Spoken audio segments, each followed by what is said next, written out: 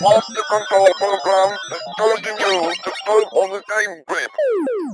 Hi guys, and welcome back to the channel. Um, I'm Dawson, and it's been a long time. Hello. Um, so I thought we'd get back into things. There's been a bit of a change. Um, it used to be called Call Interactive, which was loads of little bits and bobs.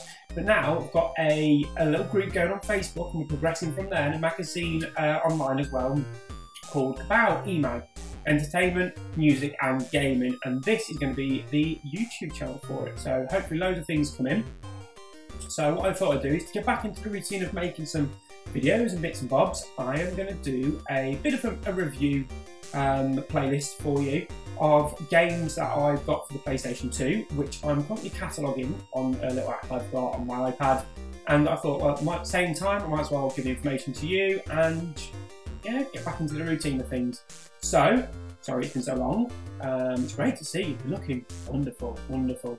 And we're going to start off with a PlayStation 2, uh, PlayStation 2 Classic. So, just show you the bits and bobs. There we go. And oh, I have no idea what that is. There we go. And uh, I'm going to tell you about this and what I think of it. So, uh, thanks for having me back. Here we go.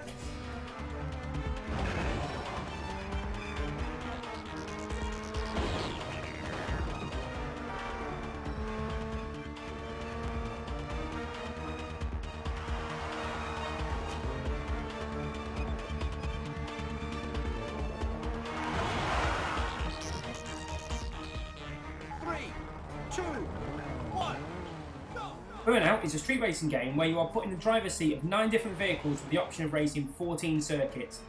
Every Dance with Death earns you more burn power that you can use to tear up the roads at turbo speeds. But be careful because smashing into traffic costs you lots of time.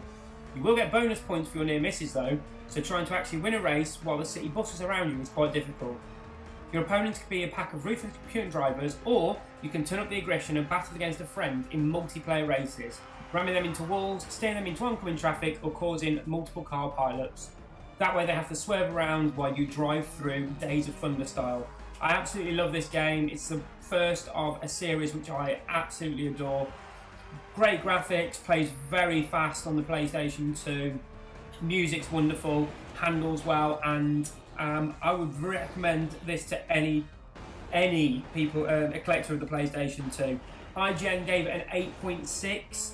Um, I'm a little bit higher than that, I suppose. My ratings, I, I go 1 to 5. I would probably give it a 4.8 just for the playability. And there you have it, Burnout for the PlayStation 2.